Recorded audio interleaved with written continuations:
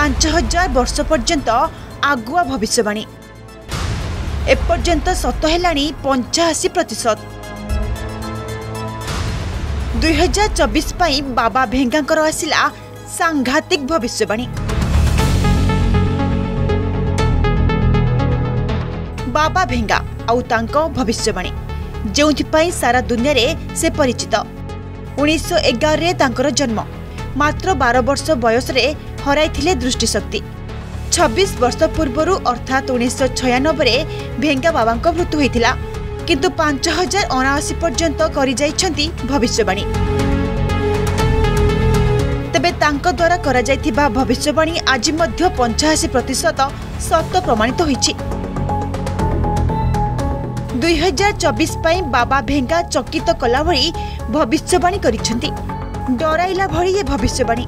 ଏଥିରେ ରୁଷର ରାଷ୍ଟ୍ରପତି ପୁଟିନଙ୍କ ହତ୍ୟା ଯୋଜନା ଏବଂ ଭୟଙ୍କର ପ୍ରାକୃତିକ ବିପର୍ଯ୍ୟୟ ଭଳି ଅନେକ ଭବିଷ୍ୟବାଣୀ ଅଛି।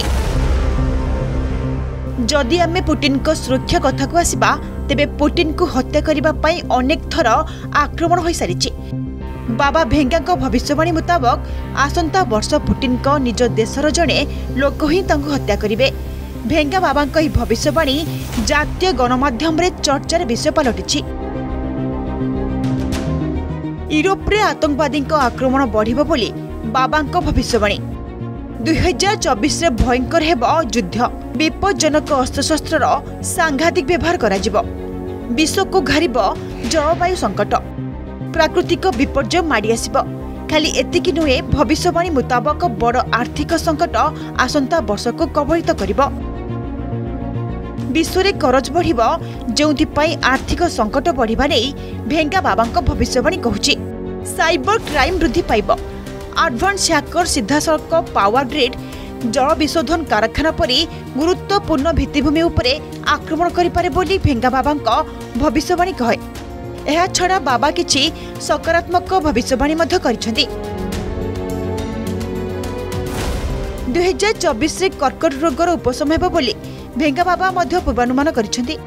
ଏଥିସହିତ ଟେକ୍ନୋଲୋଜିରେ ବଡ଼ କ୍ରାନ୍ତି ଆସିବ। ବାବା ଭେଙ୍ଗାଙ୍କ ନିକଟରେ ଭବିଷ୍ୟବାଣୀ କରିବା ପାଇଁ ଅସାଧାରଣ କ୍ଷମତା ଥିଲା।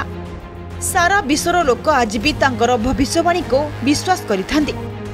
Bureau report Argus news.